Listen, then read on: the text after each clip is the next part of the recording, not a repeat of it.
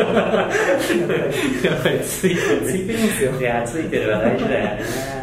いやそうなんですよ。そうなんですよ。まあそれでオーストラリアが決まって、はでオーストラリアもね結果出してまあそうですね。ね。それなりにはいチームではでもそれも1年目いたチームがちょっと消滅しちゃって、うん。2年目はまた移籍しなあかんって。あそうだったんだ。はい。まあでもすぐ決まってね、まあ、それは、はい、すぐでもないですけどありその1年目のを見てくれてたってあそうですね。いうのがあそうですね結構ねオーストラリアでプレーしてる日本の人も多い。よねあ多いそうです。あれは？あワーホリ？で使えるんではい。で仕事しながら？で基本はそうですね。仕事してる参加です。でもフシは仕事しなかった仕事はしてないけどあれですよ。僕ファーム4ヶ月行ってましたね いちごファーム。いちごファーム迎えてましたね。えー、あれサッカー終わった後じゃない？あ終わった後終わった後ねいちごファーム。いやオーストラリアのサッカーは基本的にはそのシーズン中しかお金給料出ないんで。ああそっかそっかそっか。それ終わった後は働かないと。あそうだね。ブラジルもそうだったね。あそうです3ヶ月の大会だったらその3ヶ月しか出な。いああ。っていうのと、まあ、面白いのはその34か月働くと次ワーホリの更新ができるの。セカンドワーホリ。そうするとあもう1年いられる。もう一年いられる。はい、ワーホリで。えー、じゃあそれも見越して。上あそうですね。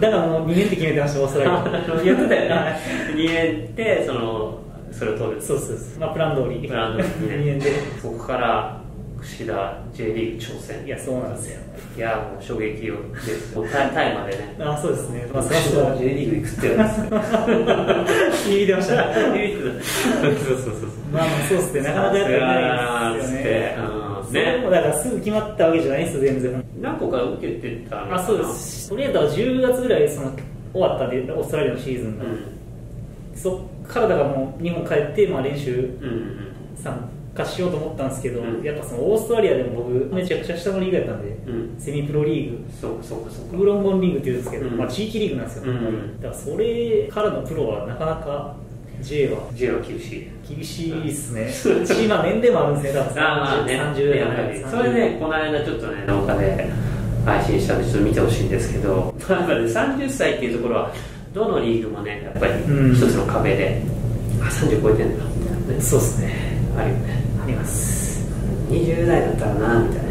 言われる。いや そうそうそう。でもどういう経緯で決まったの？それもだからつながりですね、えっと佐川印刷にいた時に一緒にやってたキーパーコーチにいた人が今たまたまその岩手のキーパーコーチにいて。あなるほどグループはいグルージャテクルージャ森岡にいてそれでまあ練習参加ちょっと聞いてもらって、で練習参参加してて、はい、でも一応 OK ということで、なるほど。そうだったんですね。はそう清水さんあ菊池清水さんあベルディ。ベルディ。そうそうそう僕はユースの時のトップにいてあーそうですね。サテライトの時お兄さんの新吉さんは僕がユースの時のゴールキーパーコーああえチめちゃよくしてもらって。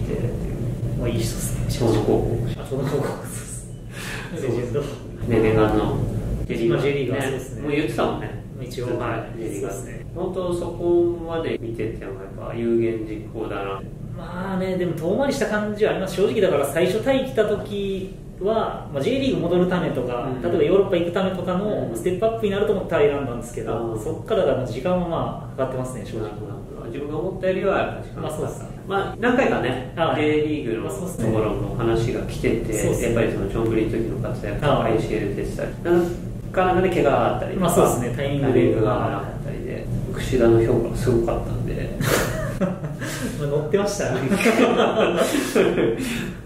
そうそうそうタイミングはねやっぱりあったりでねでもまあちゃんとそうやって実現してで去年1年ブルージャでまあいろいろうまくいかなかったこともあるまあそうですね。だからずっとやっぱこう上がっていくわけではないですね。そうんやかんやこうありつつうんっていうのはあります。ね、周りから見るとそうは見えなかったんだけど、やっぱりその中で続けてこれるっていうのはなんかみたいな。やっぱこうメンタルみんなこううあー。まくいかない時とかに落ちていっちゃったりとかこうどうやったらどんどんここから這い上がるんですかみたいな質問もあるんですけど。それは難しいですね。僕結構メンタル強いんですよね。そう。なんだよね。もともと強いですそうなんだよね。あんまりへこまないよね。いやそうなんですよ。ただ一つあるのはそのやっぱ佐川印刷でやその仕事とサッカー両立しててその生活で、まあ、できてたんですね。言う,、まあ、言うてもまあできてる2年はやってたわけなんで、だそこがあるんで最悪そこでは、まあ、自分はできると思ってたんで、うん。まあ、でも最悪そこではできるっていうメンタルもありましたね。下から上がってきたというか、うんまあそうですね。その強みが。はい。それはあります。意外とそこに落ちたくないみたいな恐怖心はあると思うんだけど、逆に、まあ、そこに落ちてもあそこでですね。できるしって感じで、い。やだから大卒でもそのプロがいいとか J3 がいいとか、うん。まあまあ分かりますよ言ってること、うん。だけどやっぱ数の枠はやっぱ限られてるわけで、うんそうだね。じゃあね。まあ確かにね。うん。っていうのは思いますけど、でもねクッシー見たら分かるけどそこで終わりじゃなくてそうなんですよね。そこからスタートしてね。やってって。でもやっぱそのなんかプロっていうのはずっと描いてたの？その中に。ああまあそうですね。漠然とは描いてましたね。まあまあメンタルはねクッシーは強いんですよ。そうなんですよ。メンタル強いんですよ。結構ね言われてもね。だからボランチとかやってるとあれですね。海外とかめちゃくちゃ言われますねあのフォワードに。そうね。まあブラジル人とかやっぱ個性強いんでチアゴとか。チアゴね。うるさいよね。めちゃくちゃ言われます相手で俺やってみててあこいつうるせえなと思いながらいやそうっすよクッシー大変だなと思いながら。でもね彼が満足するパス出すからね。結局そうなんですよ。結局。ね 結局、まあ、そこね結局見せればいいでしょっていうね、まあそうですね強さそうですね。外国人選手としてやってるだけそういうところね結果出してなんぼみたいな、まあそうですね。うんところがあって。ボランチってやっぱ難しいけどそれをやっぱり表現で見せてきたっていうのがやっぱね、うん。まあメンタル強い、まあそうですね結構俺様って感じだよね。見かけによらず、まあ見かけによらずそんな感じ。でそうそう。そうてかまああまり人の意見が聞かないやみたいな。そうそうそう。まあまあそういう感じはあります。それすごく大事で、やっぱり今の時代いろいろ教え込まれてそうっすね、言われることやらないと出してもらえないとかそういうのあるけど。でも逆に僕は答えは聞かないですから監督とかに。うん。それがまあいいか悪いか分かんないです。もうそれは昔から。昔から。どうしたらいいですか？とかああ聞かないですね。じゃああんまコミュニケーション取らないそうですねだから問題だったんですかね 日本で。場所によって場所にやり方が。そうですね。まあその外国人のやり方が慣れちゃったから。あそうですね。それはあるよね、うん。外国人だと別に監督に聞いてじゃあその答えをやったからっつって試合負けたらね、まあそうですね。結局ダメだあし聞かなくても結果出せばいいっていうのだからそういうメンタルはねやっぱり海外でやる人は大事うん、まあ、正解はないと思いますけど。そうなんだよね。ね。正解はないんだよね。正解はないんですよ。分かんないです。じゃあ何を選ぶか。まあそうですね。でそれをやりきる、うん。うんそこはやっぱり結局メンタルですね。聞き面だな行き着くとこは。そうなんだよね。迷う時も迷う時はない。まあそうですね。あんまないですうね、う迷う時間が多分短いですね。ああなるほど。迷ってでもすぐ決断します。そう。それがやっぱ海外で成功する秘訣ということで、まあ、去年、えー、とグルージャでやってで今年は4年ぶりに4年ぶり？4年ぶりにタイに戻ってきてね。そして古巣のションプリ FC に戻るっていう。すね。これもなんか衝撃でしたね。衝撃ですすごいな ここで戻ってくる確かに。ねさすがだなといやいやでもまあ海外のいいところというか、まあ、タイいいところはあれですねその僕だから試合全然出てなかったんですよ、うん、あ去年。ねだからトータル5試合とかじゃないですね、多分。だけどそういうのじゃなくて、まあ、まずもうグラウンドで見せてくれと。うんなるほできるかどうかど、のやっぱ結果ですね。やっぱりその経歴でどうこうっていうよりはもうじゃあできるんだったら取るよそういうことですね。うん。いやだからこそあれですね。その岩手で、まあ、出てなかったけどやっぱしっかりトレーニングしてたんでずっと、うん。だから自信はまああったんですね、できる。まあ出た試合も僕ちょっとしたハイライト映像しか見てないけどやっぱりいいプレーしてたしあやっぱ継続してんなーっていうので。そうですね。継続して、うん。まあね、ブログも継続して。まあ、そうですね。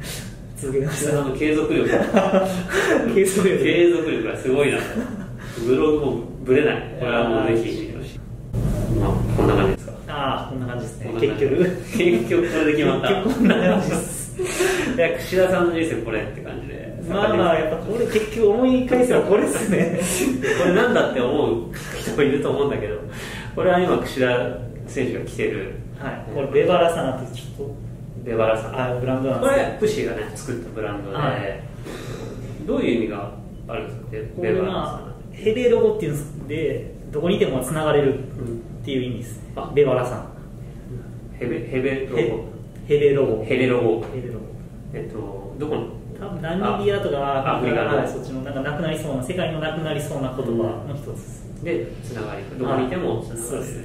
えー中盤でねいろんな選手をつないできたあそうです。嬉しいらしい、ね、世界中どこ行ってもサッカーボール一つでねね。みんなつないできたっていう。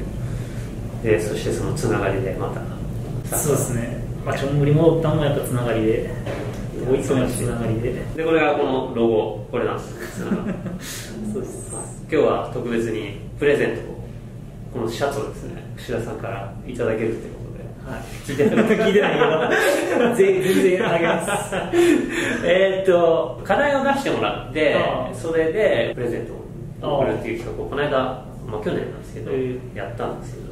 課題って何や？どういうあれですかこの間は練習で50ゴール決める夏休みの間に50ゴール決めああるどんなゴールでもシュート練習でも練習試合でも、えー公式戦でもいい。トータルで50ゴール決めるでできたらレポートを送ってもらうっていう感じえあるいはフェイスブックでウェバラさんー、がああそうですね。シェアしてもらったっていうのを、まあ、送ってもらったらああね。応募みたいな。あそれいいですね。あそれいいですね。つながりで。はい、じゃあなんかそういう感じで、はあのシェアしましたみたいなのを、えー僕の方にあと串田選手の方になんか送ってくれたら、あそうですね。はい、その中から串田選手が選んで1名。でははい。ベワラさんじゃあ1名1名さんにプレゼントしますんでぜひ応募してみてください。ということでまあえっ、とちょぶりにね今年戻ってきたっていうところまでの話を今聞きましたんでまたね次の動画でいろいろ聞いていきたいと思います、えーじゃあそれでは今日ありがとうございました